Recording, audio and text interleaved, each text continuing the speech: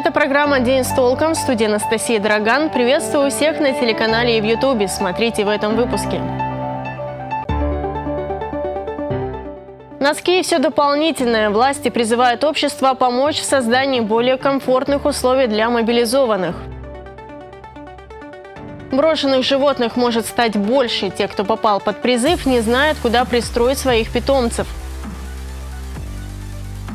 Громкая премьера на краевой сцене ставит Рахманинова. Ансамбль «Алтай» готовится удивить зрителей.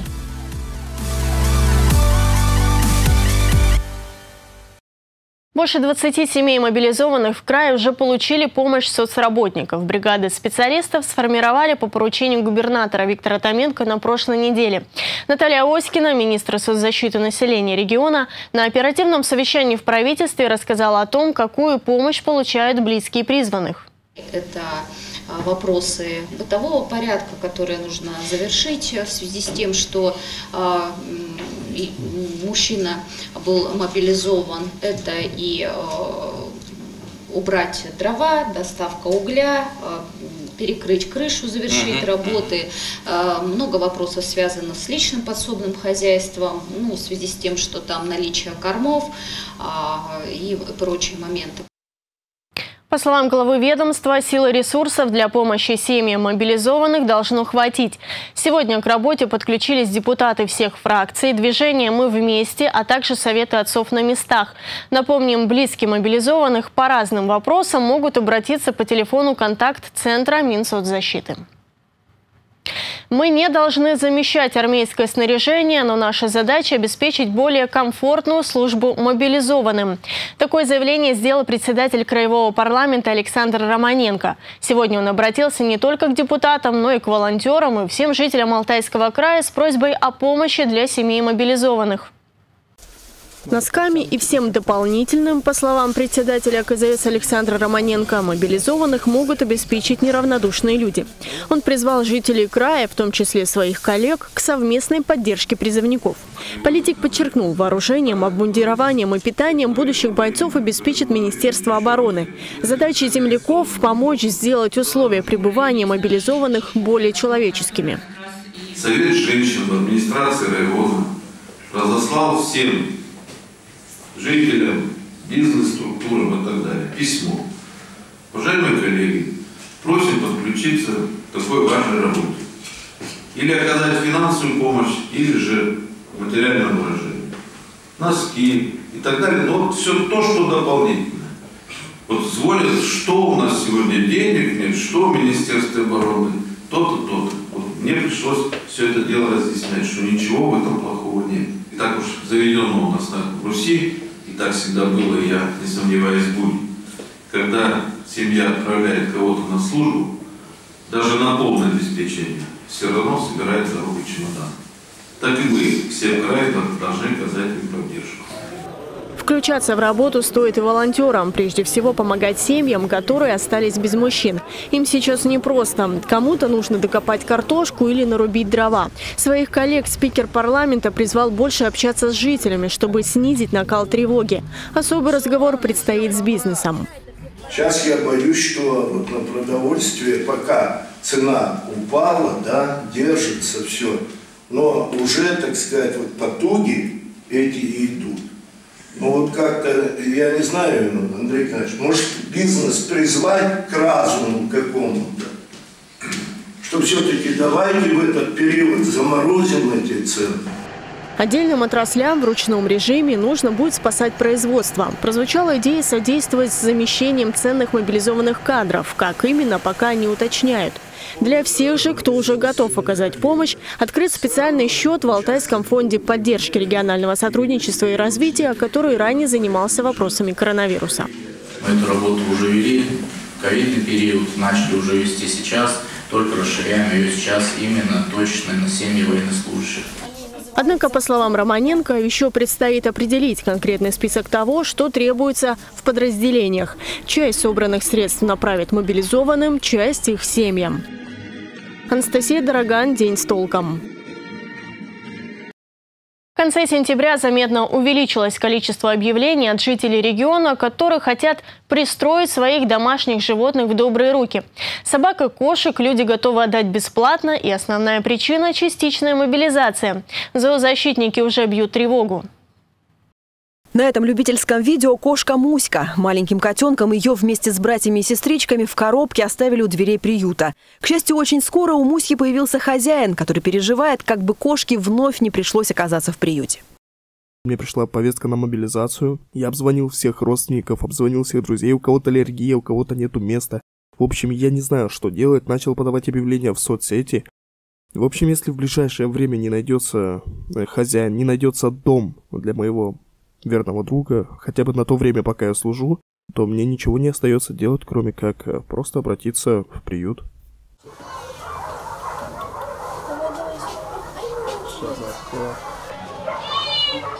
К слову, в барнаульском приюте «Ласка» уже находится 650 собак и 180 кошек. Его руководитель Софья Куликова говорит, на неделе, когда стали призывать мобилизованных, количество звонков действительно увеличилось. Люди приспрашивались на всякий случай, уточняли о временной передержке. Начали поступать звонки а, от э, граждан, которые просят принять своих хозяйских животных а, по причине мобилизации. Э, у нас вот э, позвонила женщина, сказала, что у нее мужа забирают, а у нее две собаки, причем одна какая-то огромная лабай, а вторая типа лайки, у нее трое детей, и вот мужа сейчас заберут, и вроде как ей ну, нет возможности с ними справляться.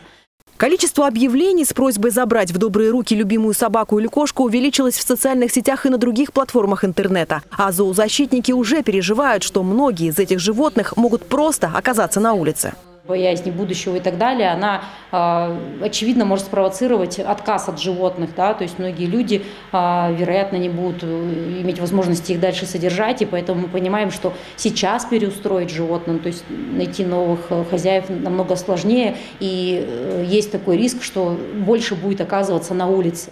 В приюте «Ласка» пока не увеличивают количество будок и вольеров. Надеются, массового отказа от животных не будет, но обращаются ко всем неравнодушным и приглашают стать волонтерами приюта. Елена Кузовкина, Дмитрий Денисов. День с толком.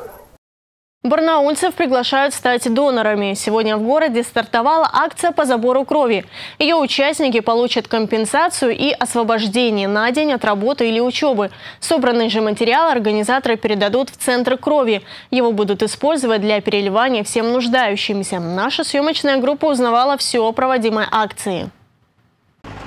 Фургон ждет горожан в центре Барнаула с самого утра. Желающих сдать кровь пока немного, в основном студенты. Пригоден ли каждый из пришедших для донорства, они узнают здесь же. В лаборатории берут анализ, проводят осмотры. Если все в порядке, начинают процедуру.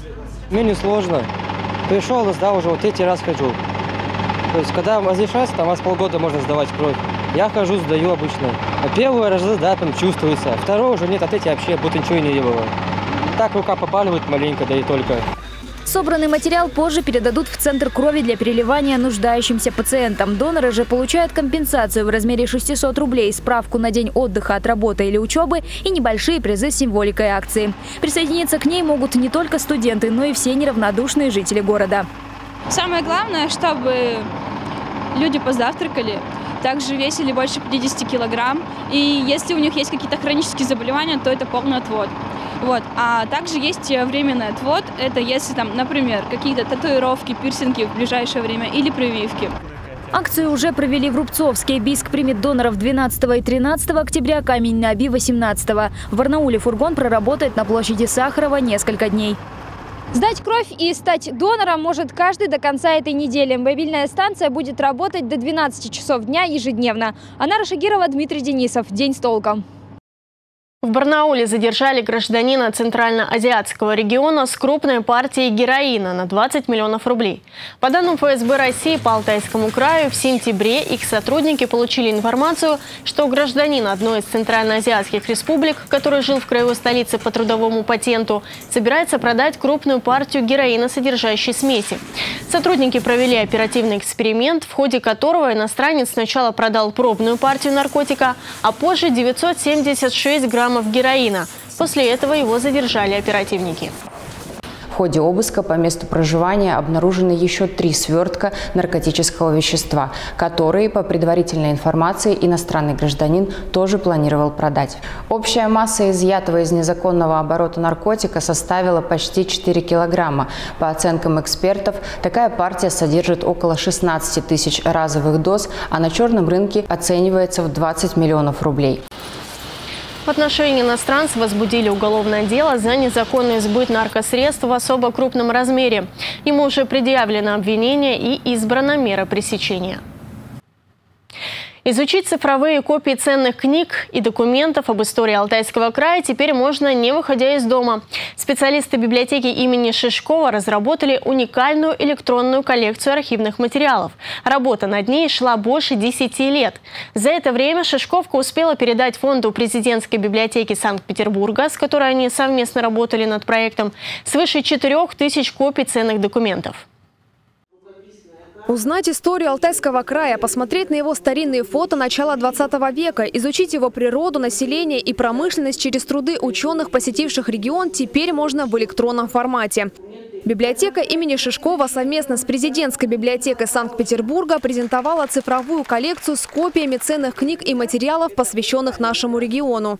27 документов стали основой коллекции «Алтайский край. Страницы истории». Э, и так началось наше сотрудничество. Мы передавали, цифровали документы, передавали в президентскую библиотеку, пока к 2015 году мы не доросли до открытия э, регионального центра президентской библиотеки. Всего край передал культурной столице страны более 4 тысяч документов. Создание таких виртуальных коллекций, подчеркивают специалисты сферы, уникальная возможность создать единое культурно-историческое пространство для всех.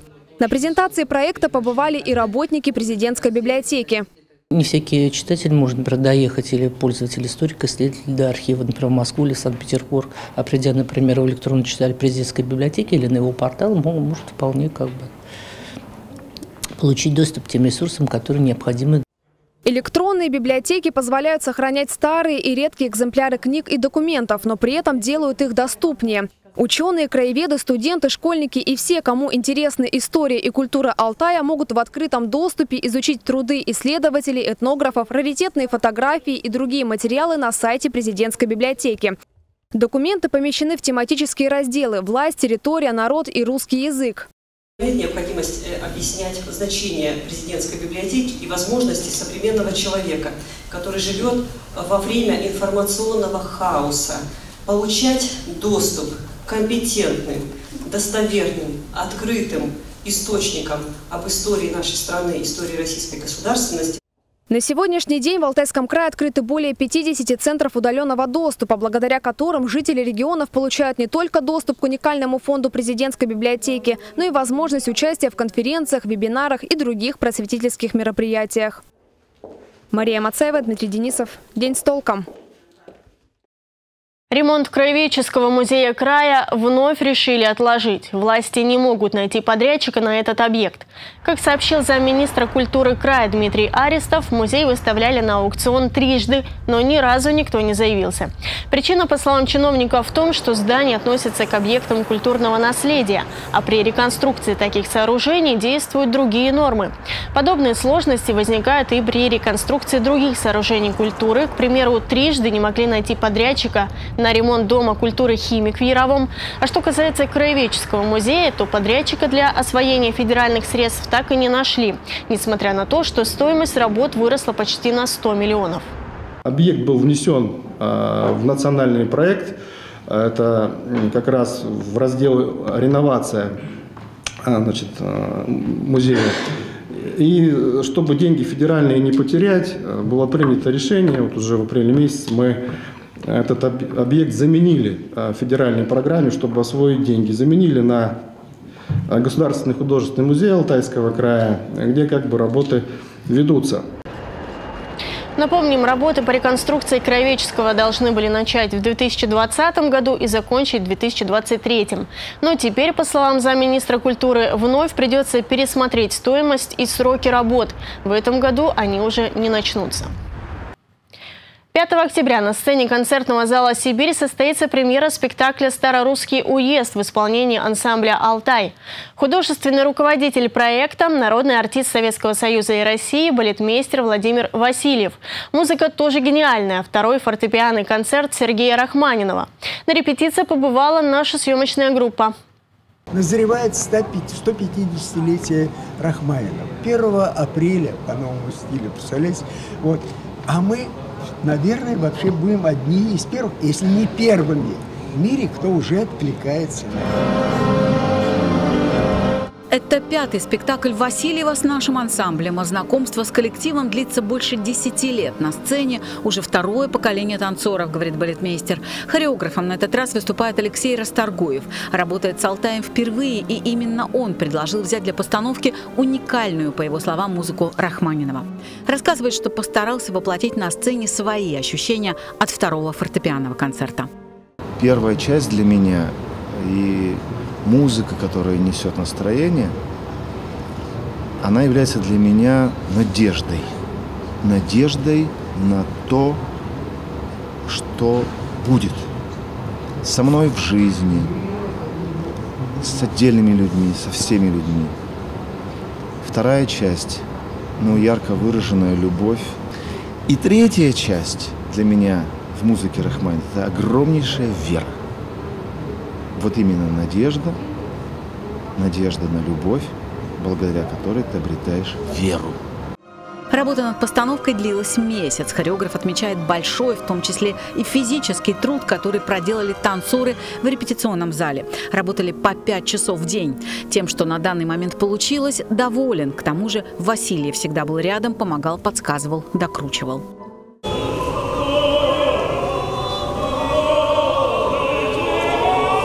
Здесь ну, сложности свои были еще, знаете, как, потому что когда мне сказали, что вот у нас же ансамбль все-таки здесь алтайский, и песни, и танцы, и песни тоже. А куда же песни? Вроде бы ее туда вместе с этим нехорошо будет. Не по отношению к Рахману, а вообще Да, но они должны быть. И вот они будут. И они будут. И вы... Я сейчас смотрю уже, Боже мой, слава тебе, Господи, абсолютно к месту. Сложно пришлось и художнику по костюмам, ведь такая музыка требует минимализма. Поэтому в первой части в цветах постановки только черное и белое. О других частях умолчал, оставил интригу на премьеру.